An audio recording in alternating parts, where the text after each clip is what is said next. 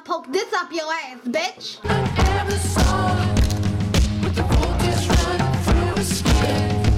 Oh my god.